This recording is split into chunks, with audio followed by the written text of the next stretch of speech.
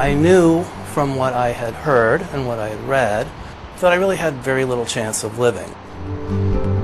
There were no treatments at that time. There were no medications that were available to me. John Gard is talking about his HIV diagnosis in 1985.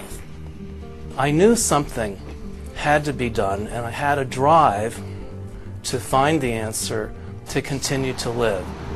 John is finding those answers at the UCLA Clinical AIDS Research and Education Center, or CARE, at a new off campus facility dedicated to the best possible patient care and to research. HIV attacks the body by infecting the T cells, um, and that destroys the immune system. We have some exciting new therapies on the horizon. There are different classes of medications and also next generations of the current uh, medications that we have. The Care Center offers clinical trials that pave the way for better treatments, medications to combat side effects, gene therapy. Researchers are even working on an AIDS vaccine.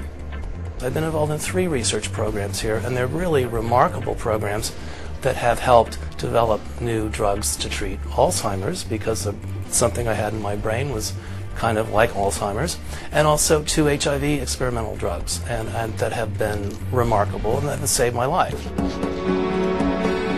One of the reasons why I went into HIV medicines was because um, there's a great need for um, doctors and nurses that are trained and taking care of patients that have HIV especially as patients are living longer with the new medications. It's really exciting for me to, to be able to see um, patients just live long, healthy lives. For Dr. Emery Chang, this work is a career and a calling. He spent last summer mentoring doctors and nurses in tiny mountain villages in Rwanda. It was really amazing to see um, a group of people that, despite the circumstances and lack of resources, really committed to their patients and um, being able to accomplish so much with so little. And HIV is still a major public health problem in America. Of the 1 million HIV population in this country, one quarter do not know they are infected, and this 25% are believed responsible for half of all new cases universal testing that's now recommended for all Americans is really important in order so we can discover the people that have HIV and prevent those people from infecting other people.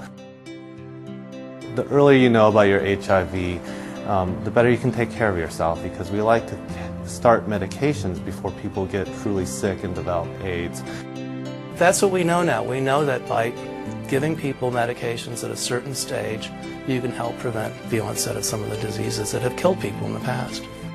It is a message of hope to see where we're going with all of this, and now that we've all survived 20 some years, where are we going? And, and where are we going as a nation in terms of helping people to prevent the spread of HIV to start with, and also to help uh, people around the world and, and share the knowledge that we've, that we've accumulated here.